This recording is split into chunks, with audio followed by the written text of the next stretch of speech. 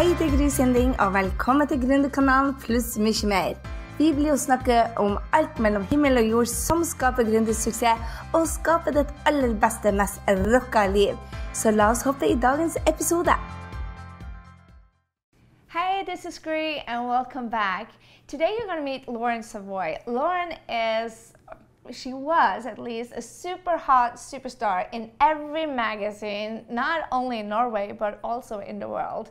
And then now she's living this quiet, TV and film producer life in Brooklyn. And what I love about Lauren is that she's such a hard working woman and has transit from being a music writer to a TV producer. And wherever she goes, she just goes to the top. She's ambitious and she's a hardworking woman. So what I love about you know being an entrepreneur is that you have to work hard. It's success is not given to you. You actually have to work through the hard times and this is what i want to inspire you that there's no shortcut to the top. It's just hard work. And lauren is one of the hardworking women that inspires me every day. Enjoy Hi there, I'm here with Lauren Savoy. Welcome, Lauren. Thank, Thank you. you so much for being here. Um, so you went from a crazy pop star life and now to the quiet life in Brooklyn. really quiet. yeah. How has that been for you? How's this transition been? Um, I think it's it's been great. I think it's been very good for both my husband and myself because in America it's so easy to just blend in with everybody and it's you're no you're no big deal. And yeah. I think that's very good for the mentally. For the mentally. yeah. So how long have you been in Brooklyn? Two years. Two years. Two years, and it's so much different than Soho and Norway. Yeah, but you know, I was in Norway this summer, and I had another like. I, I fell in love with Norway all over again. Oh, really? It, really. I think Oslo and the people, it's a fantastic city. Yeah. It's really, and it's growing so much. I know, it's so changed since I moved to. How long have you been away? Um, we come back every summer. Okay. So I see that kind of growth that year, what's happened in a year. Yeah. And I'm always surprised. But in particular, coming back this summer, I was really very taken with the city. Yeah. So what do you think is the difference between the Norwegian mentality and the um, America? Oh, because you have God. both. You like Boston and New York, and then you lived up in the country in Norway too, Oslo. And yeah. Yeah. Our son went to Barnehage. Yeah. Yes, we were there for some years. Yeah. but we always, I mean, we always lived outside. But we, he would like spend like, you know, the summers in Barnehage. yeah. Um, but I think in a, to a large extent, Norway is just a much more mature country. How? I think Americans are, it's, it, if you were going to say that we're, the countries are people. Yeah. America is an adolescent it's oh. filled with raging hormones. Oh, it's like 15 years old. You know what I mean? It talks back at you. It, it, might push you by accident. You know, it's filled with hormones. Yeah. And Norway's an adult. Wow. I actually see it the other way around. Really? Yeah, that's interesting you say that because every time I come home, to Norway, I get pushed at the subway and pushed, and they're so rude. And while I come here, they're like, "Excuse me, sorry, oh, how are you?" So I. Okay, I know what you're saying. Actually, yeah. I do. I know what yeah. you're saying. But that's like um, that's like the the, the social greeting, like that yeah. superficial level. Norwegians are a bit abrupt. Oh, yeah. Comparatively, right? And Americans are so friendly. Yeah. And Norwegians always think they're too friendly. Oh, it's yeah, fake. Yeah, yeah. Haven't you heard that? Yeah, I do, but I don't think it's fake. I've become like that too, and I um, we are just raised to see what's good in other people. Like here, you get um, like a training in school, like see how to see other people. Yeah. And and uh, more curious. Yeah. Well, uh, and at home, I'm more um, in my little cubicle. What right. do you call it? Yeah. So, yeah. But politically, which yeah. is kind of what I'm talking yeah. about. Yes. Norway has yes. a, their your political system yeah. is so much more. I do agree. I do yeah. agree. I do agree. So what's you up to now? I mean, you went. You were a singer and a songwriter and a video producer, and now you're into TV shows, and that's so. It's it's a transition, career. Yeah, I, I like to change. Yeah. You know, I, I- same with where I live. We're, we're always moving. I kind of don't like to get stuck. I feel like time goes so fast when you never change it up. Your life is over like that. Yeah. But when you change, things tend to slow down a bit because it's all new experiences. Yes. And I love learning new stuff. So yes, I started. I I- originally I want this is what I wanted to do, and I got sort of sidetracked. Um, so the last couple of years, I've started writing, and it's coming. It's going well. I, I made a short film that won a lot of awards. Awards, a lot of them. Yeah. Congratulations. Thank That's you. amazing. I had my heart kind of broken this summer though. Why?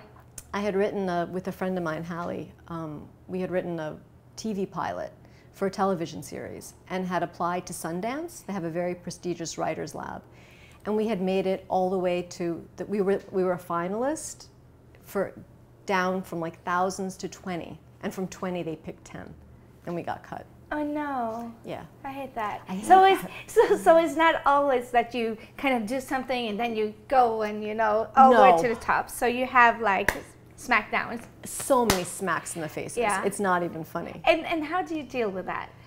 This one was hard. Yeah. This took the wind out of my sails because it was it would have meant so much Yeah. in America. Um, and it was we had gone so far and we were one of the last to be rejected. So I really felt like, oh my God, I think maybe we're actually in. Um, so it took me a couple of days. And then I came up with a television series that I really want to make. Wow. And that's the and I wrote a, I wrote another pilot and I think that's the best thing you can do is just as hard as it is just go back to work yeah. and keep you know you have to just keep trying Yeah.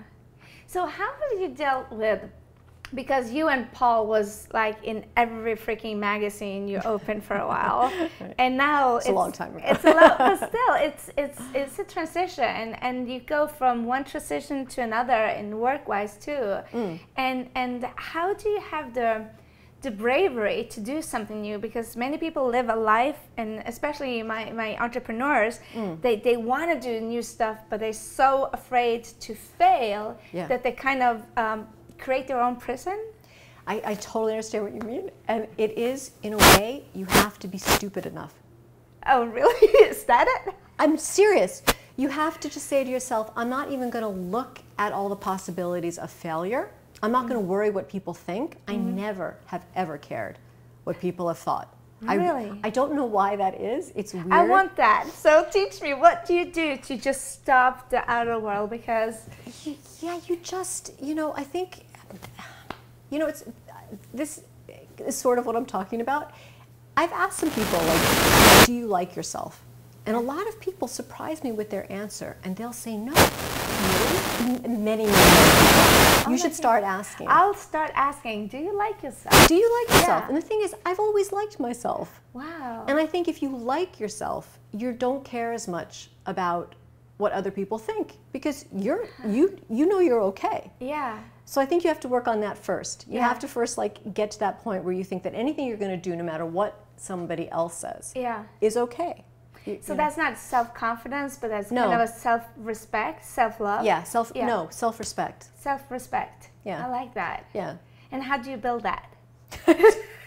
Just comes natural. I think it starts early. Yeah. I it's a good question because I honestly I don't I don't know. Yeah. I think it's a you have to. I guess you start do. It's a bit like you are what you do. Yeah. start doing things that give you self-worth and one of those things that give you self-worth would be not listening to what other people think Yeah, yeah, yeah. and and actually being dumb enough i ac really mean this when i say being dumb enough to do stuff that people think oh my god you're going to fall flat on your face Yeah. it's like okay and if i do so what Be so brave. what? Just be brave and just do it. Yeah. Yeah, I love that slogan. I mean, that was a genius. I love Nike. So I, I had an interview with Eva Attling, uh, the jewelry designer, and Mm. she said kind of the same thing. It's like be brave, and if you're not in there with your heart, you're gonna fail anyway. So it's better Yeah. doing something with your heart instead of and isn't it better to try and fail than never i mean that's another like great Yeah. cliche but Yeah. than never to have tried at all that's the Yeah. worst yeah. You're never going to regret trying even if you fail i don't regret applying to sundance it was No, great it was it a fantastic great. experience So what did you learn out of that? um, to keep actually that I learned that oh I'm good enough to have made made it that far. Then I can't be that bad. My writing must be good enough. It's good. Uh, You know, and and I just have to keep trying. yeah. I'll reapply next year. Yeah, awesome. You know? Awesome. So when you have that, you know, the outer world is kind of giving you a prize for being the best one. Uh, Hmm. How do you?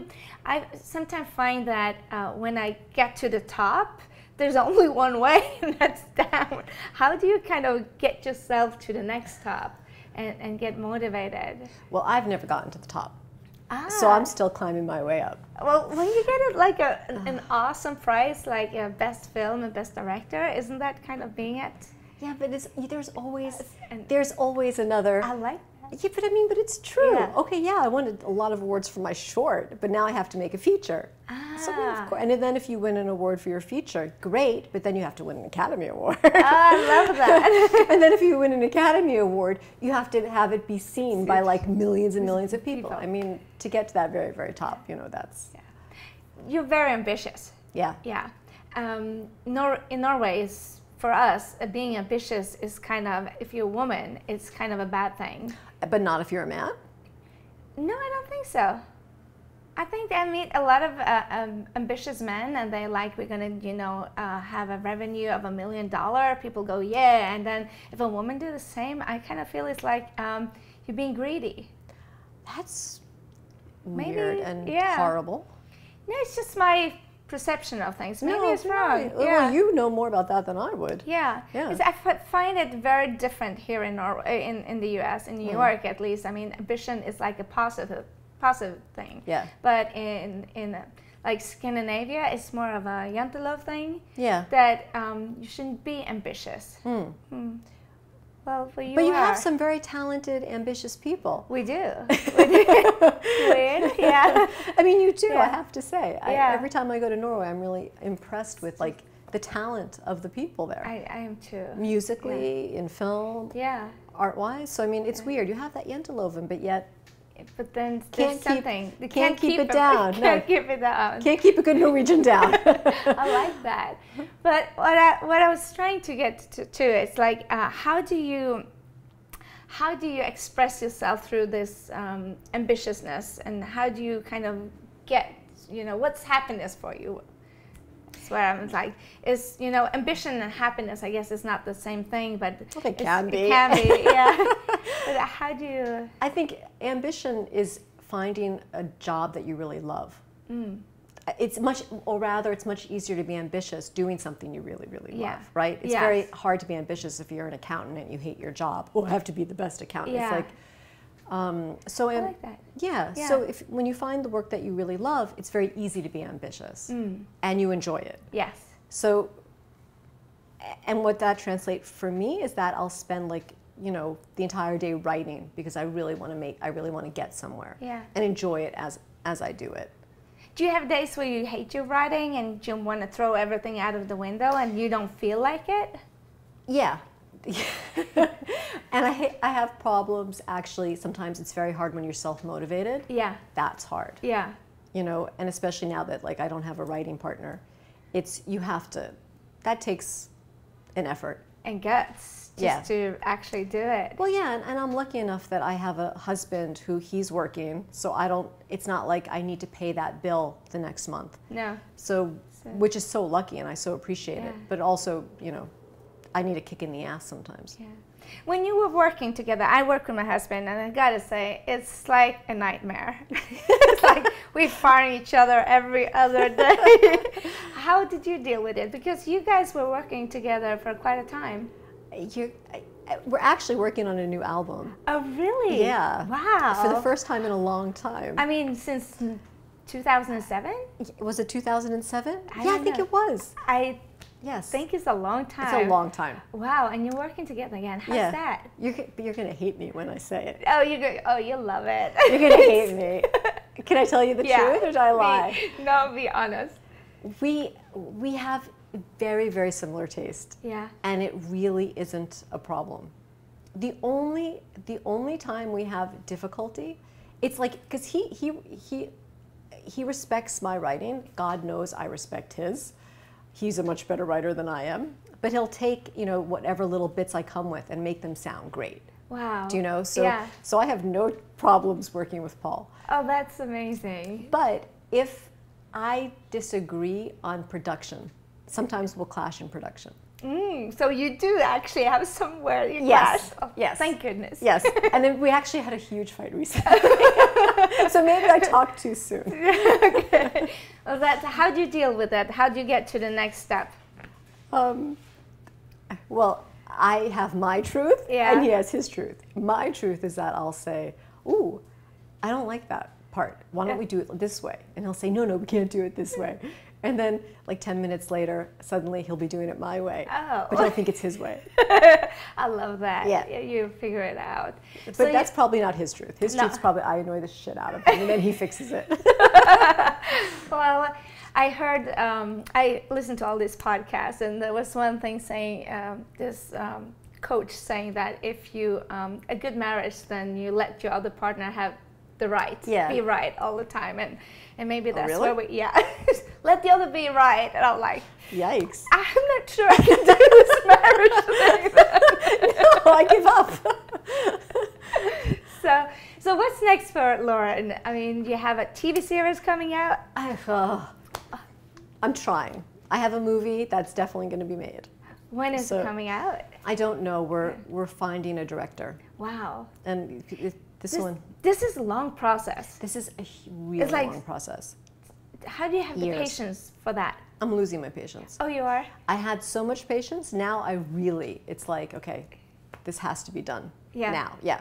So And hopefully I- this year. This year? Yeah. Wow. No, not this year. Uh, 2016. 2000, yeah, 16, yeah. Mm.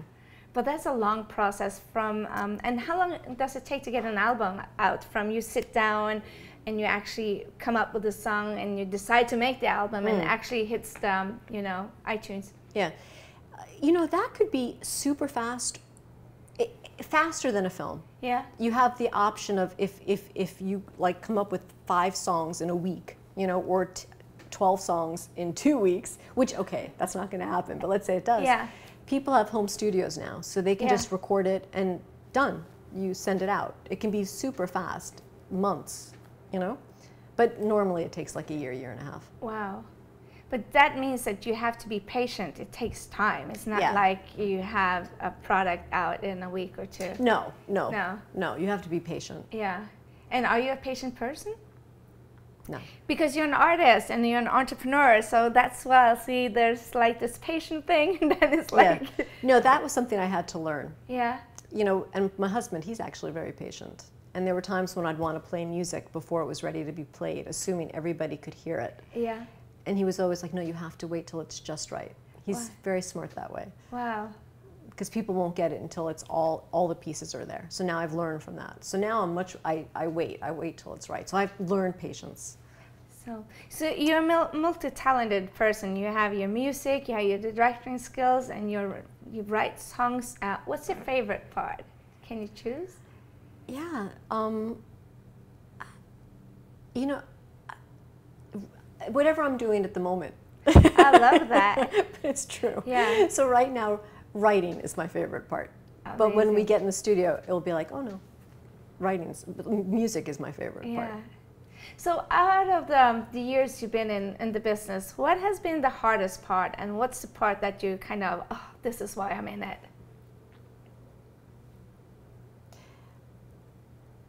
Um, the hardest part is the rejection. You know, when we were doing Savoy, we had this, we were signed to Warner Brothers in America. And then the president, and we got signed through the president of Warner Brothers. I mean, Uh. does that get any better?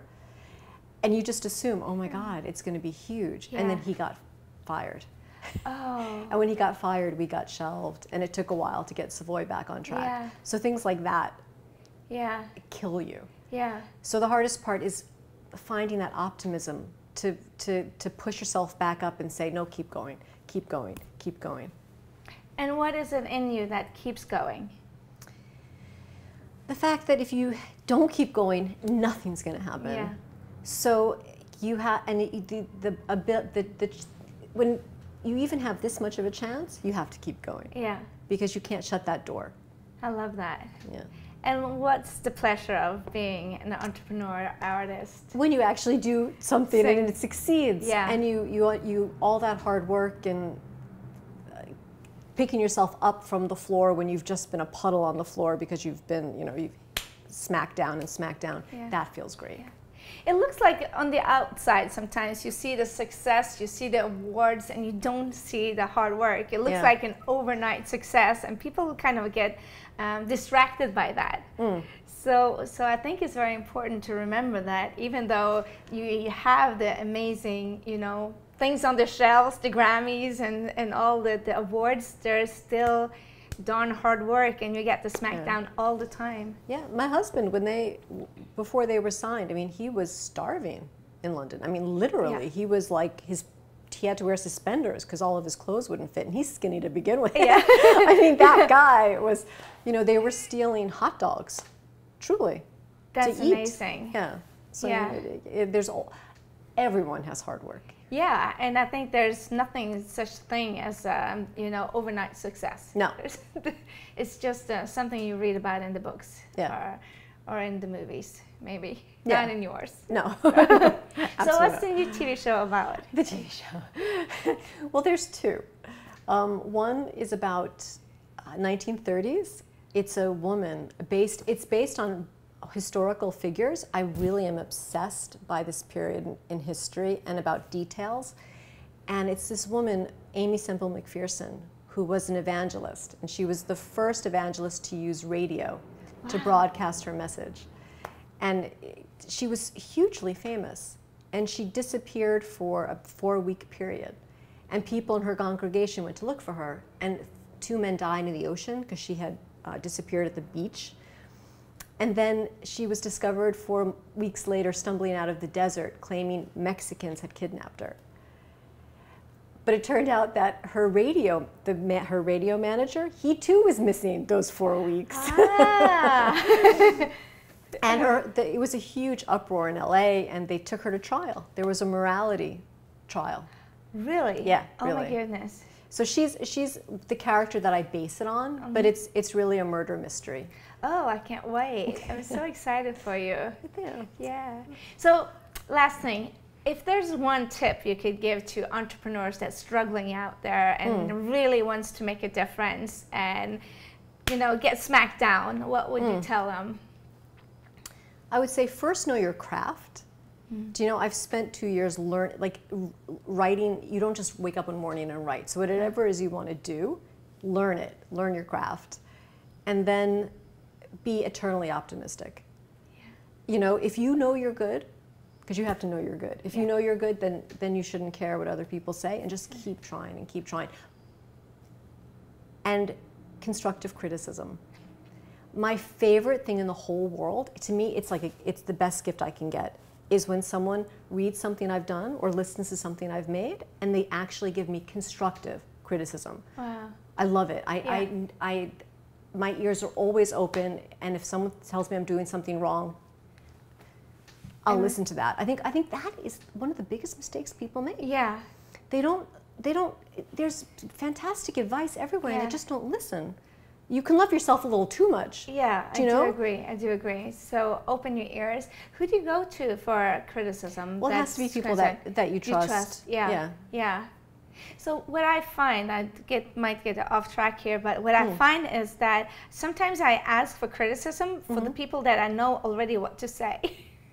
so, No, no, so- no, no. you have to go to people that maybe frighten you a little bit. Yeah. But but you know are good at what they do. Yeah, I love that. Yeah. Thank you so much for that. I'm gonna take that with me. Yeah. Thank you so much to Lauren. Thank you so much for Yeah, being here. Thank and you. What a sharing your- fantastic Yeah. talk. I enjoyed it. Thank you. That was Lauren Savoy. I hope you love her as much as I do and got inspired to work through those hard days. The hard days will come, but hard work is the only way, to get through it. So get up there, just do it, and make some magic happen.